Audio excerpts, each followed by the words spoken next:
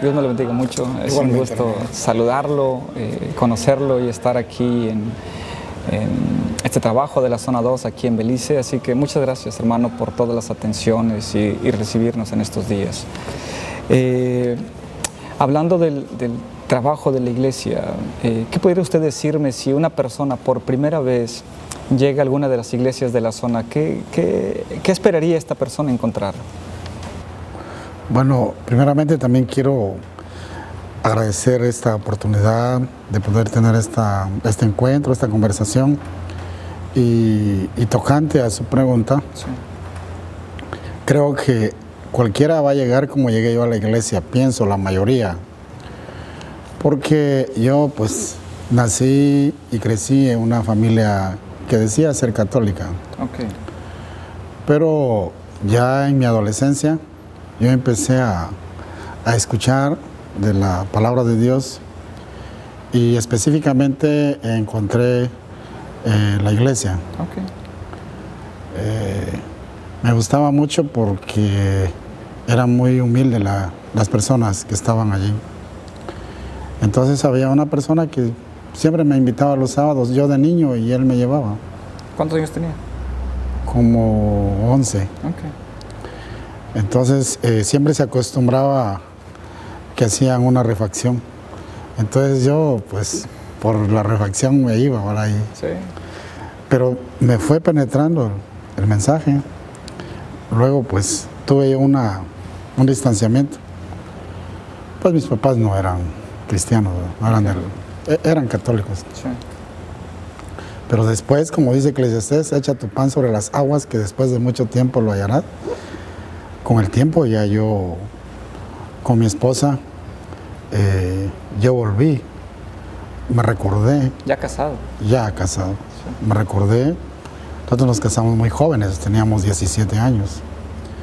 Entonces yo me recordé y, y fui, pero una de las cosas que a mí me extrañó fue que la, la primera vez que yo fui a la iglesia, nadie se interesó por mí. Eh, una persona, un, varón, un hermano de carácter muy sencillo, él nos iba a visitar. Y yo siempre, como había platicado con mormones, con testigos de Jehová, con adventistas y todo eso, yo siempre trataba de, de correrlos, Sí. haciéndoles preguntas. Pero a este hermano no lo pude yo correr. Entonces, eh, nunca me invitó él a ir a, a la iglesia. Él me dijo, mi tarea es que usted conozca. Y él iba a su casa. Él llegaba a mi casa. Y yo le decía, ¿sabe qué? No venga. Ya no venga porque ya no tengo tiempo. Y además yo veo que yo no puedo, no puedo cambiar, no puedo entregarme. Y entonces me dice, no, pues yo voy a seguir viniendo. Y yo lo veo que usted está enfermo, me dice. Pero yo no estoy enfermo. No, mire, vea lo que dice acá, Marcos 2.17. Los que están sanos no tienen necesidad de médico, sino el enfermo. Y usted está enfermo de su espíritu. Así que yo voy a seguir. Y yo seguí yo. Pero la primera vez, con relación a la pregunta, la primera vez que yo fui a la iglesia, nadie, nadie se interesó de mí. Entonces yo vi un ambiente muy cerrado. Y pues con el tiempo yo ya no quise ir, ya no llegué más. ¿Y cómo entonces que fue que hizo el cambio para entregarse a, a Jesús como Señor? El hermano se encargó de darme la doctrina en esas visitas. Me dijo, ¿usted cree en Jesús? Sí, creo en Jesús. Pero surgían preguntas como, por ejemplo, eh, mire, ¿por qué mi mamá nos enseña que los días de la Semana Santa, eh, que no vayamos a bañarnos al río, que no subamos a los árboles a bajar fruta porque son días grandes? O sea, preguntas como esa. ¿no? ¿Y usted quiere saber eso? Sí, pues yo le voy a explicar. Y me empezó a explicar la profecía de las 70 semanas. Yo no la y de entendí. ahí. A mí yo vi un cambio en la doctrina Ok. y lo seguimos viendo ahora en todo lo que somos nosotros como Guatemala, que una de las cosas que marca la diferencia, o sea, ¿por qué yo busqué la iglesia? Cristo Jesús, ¿verdad? Pero la doctrina. Ahora, eh, desde ese llamado hasta ahorita, ¿cómo ha sido su jornada? ¿Cómo ha sido su crecimiento con Dios? Yo, después de que tardaron como cuatro años, antes se tardaba mucho para la doctrina, yo- ya después yo sí ya quería bautizarme, pero no me bautizaban porque había un tope ahí, que si no recibía las clases no, no me podía bautizar. ¿no? Entonces eh, sí me bauticé, nos bautizamos juntos con mi esposa y comenzamos a ver el desarrollo. El ambiente de la iglesia, pues yo creo que en todas las partes, antes era, ahora ha cambiado un, poco, ¿no? pero el ambiente era un ambiente muy, eh, como de, como de no, de no alegres, pues, ¿verdad?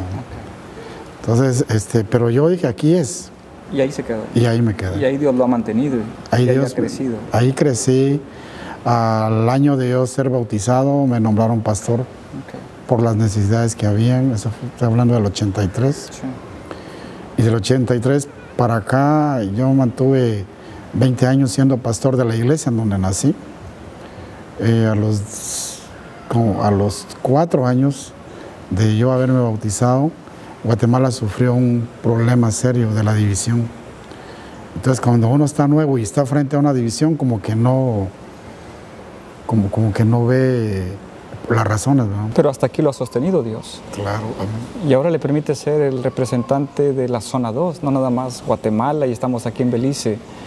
¿Qué nos puede decir más sobre los países que conforman la zona 2 del Congreso Ministerial Internacional? Bueno, todo Centroamérica, todo Centroamérica vive un ambiente eh, en cuanto a, a nuestra doctrina muy entregada a la doctrina.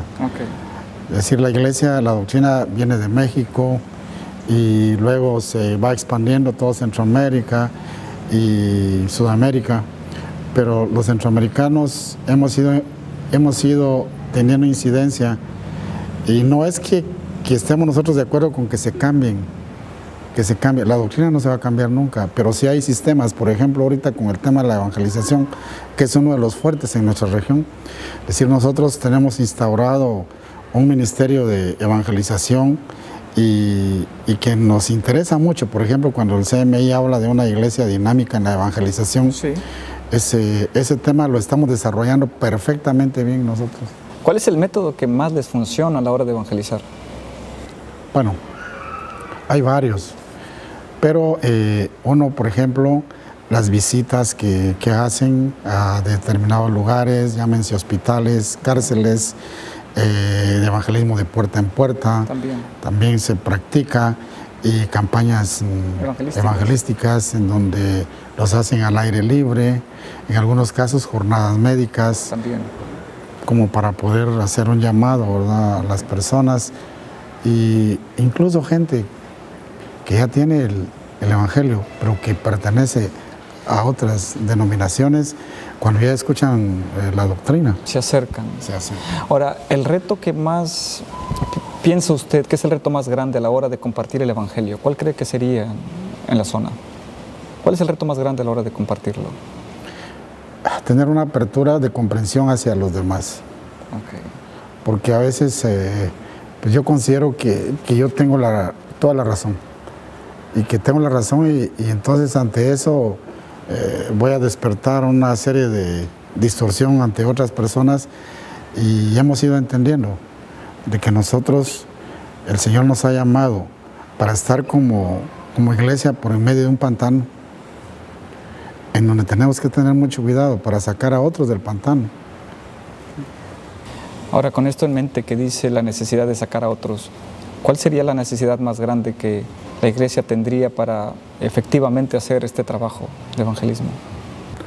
Yo creo un llamado hacia la concientización de nosotros como líderes, para que no seamos ex- excluistas, excluyentes, sino que tratemos nosotros de, de- de- de- de estar abiertos como para aprender a sostener un diálogo con las personas. Porque podemos ver nosotros eh, a la par nuestra hay tantos grupos que son fuertes, los adventistas, los testigos de Jehová, en fin, todos ellos, ¿verdad? Pero hasta cierta, en cierta forma, decimos, hay muchas cosas que tienen los otros, independientemente de la doctrina, pero en cuanto a mecanismos, que nosotros, aunque no nos guste, vamos a tener que implementarlos. Porque funcionan en otro lugar. Funcionan. Ahora, ¿cuál sería una de las fortalezas que las iglesias de la zona tienen eh, y que puede beneficiar a otros? Una, y esa no va a variar en nuestra zona, es el conocimiento de la doctrina. Ok. Eso en los foros, acabo de ir yo a una comunidad muy recóndita, en donde nuestro pastor es una persona bastante sencilla, pero le tocó que tener un diálogo con un sacerdote católico. Y entonces dentro de ese foro, eh, el pastor, obviamente con la dirección del Espíritu del Señor, pudo responder a las preguntas que le hicieron. Es, un gran, es una gran fortaleza entonces. Eh, hemos estado hablando de, de estos 10 puntos de la visión que he estado compartiendo aquí en el, eh, en el evento que tenemos aquí en Belice. ¿Ha podido usted compartir estos 10 puntos con algunos otros de los países, miembros de la zona, aparte de este evento? Muy pocos. Ok. Yo estoy en la zona a partir de junio del año pasado, del Ok. 2018. Apenas. Entonces hemos estado tratando temas, pero eh, de carácter administrativo y muy poco hemos tenido encuentros como este. Incluso me atrevería a mencionar que el tema que escuchamos ahora último, el hermano Jason. Jason, Una iglesia cristocéntrica. una iglesia cristocéntrica, cuando se escucha en nuestra región, es, es como una bomba. Dicen, bueno, ¿qué está pasando? ¿Por qué? Pero cuando ya lo escuchamos de una manera abierta y diserta, sí, pues, no, pues uno siente como que, bueno, pues... Un es- alivio. Claro, hermano. Perfecto. Entonces yo creo que lo que está haciendo falta con ese tema, eh, que resultaría ser controversial, pero que no es nada controversial. ¿Usted cree que esta es una gran oportunidad para que nuestras iglesias de la zona, eh, este mensaje de ser una iglesia centrada en Cristo, se predique más? Yo creo que sí.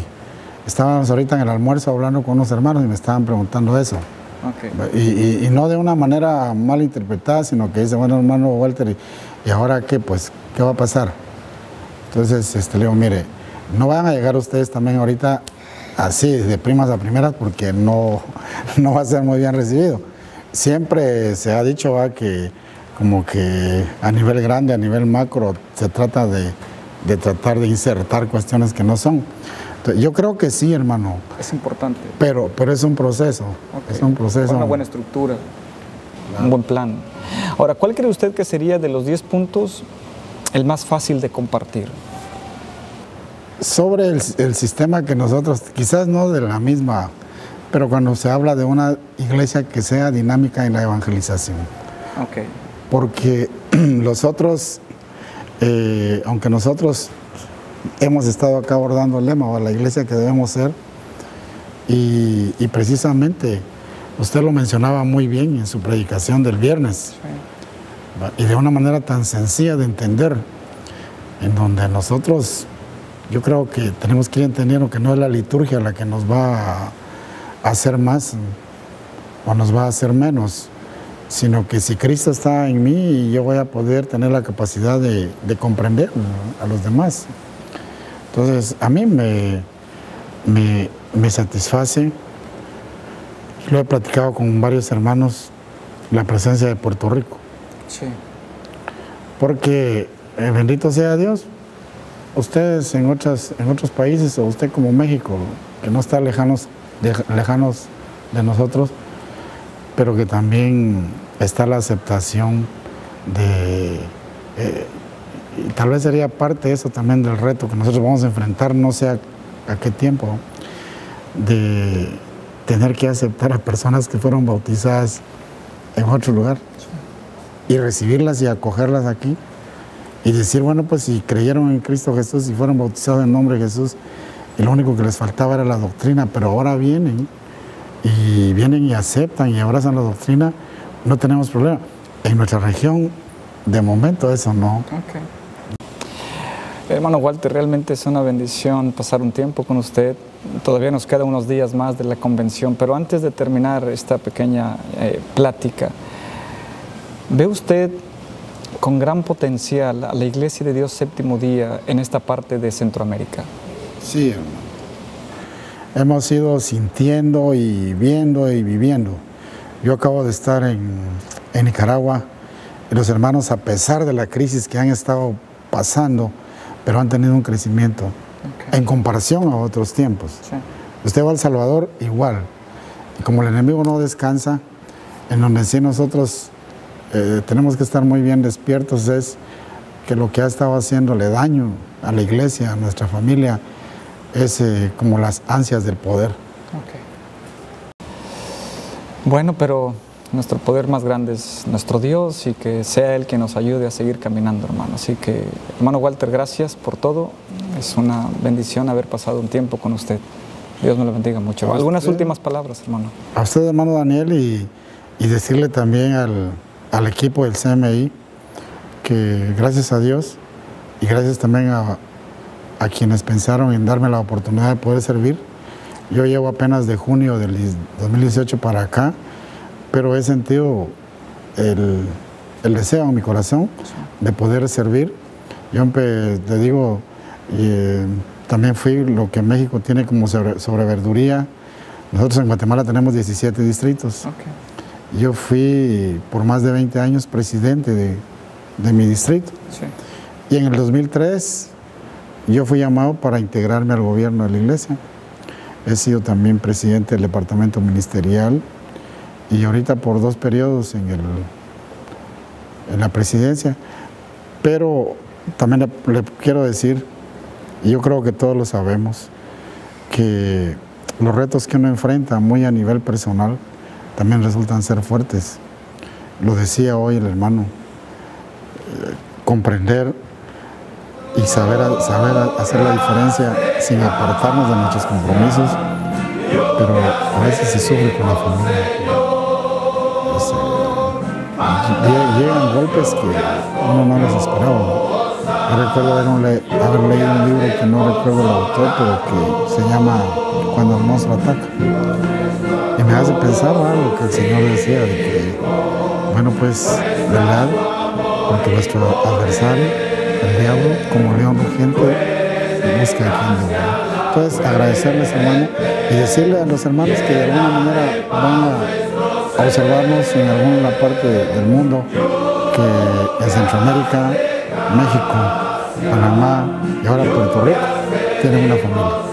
Y como decía ayer Simón en la mañana, la promesa que Abraham recibió de que él haría, de él haría una nación grande y que nos ha, nos ha cobijado a nosotros también, yo creo que lo estamos viviendo nosotros. Bendito Dios por eso, Walter. Muchas gracias y hasta pronto. Dios